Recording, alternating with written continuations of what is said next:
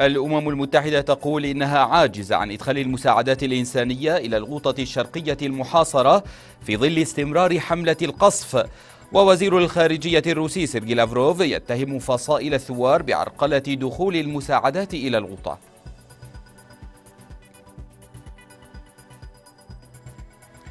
جيش الإسلام يعلن مقتل 36 عنصرا من قوات النظام وتدمير دبابة وعربة مدرعة في كمين على جبهة حوش الظواهرة بالغوطة الشرقية لدمشق.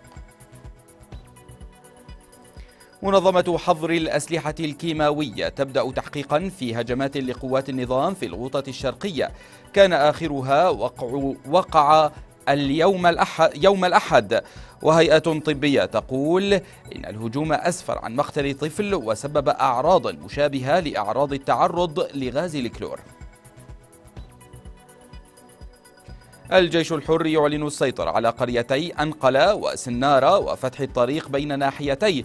راجو وجنديرس في ريف عفرين ضمن عملية غصن الزيتون ويؤكد مقتل 27 عنصرا من وحدات الحماية الكردية خلال المعارك.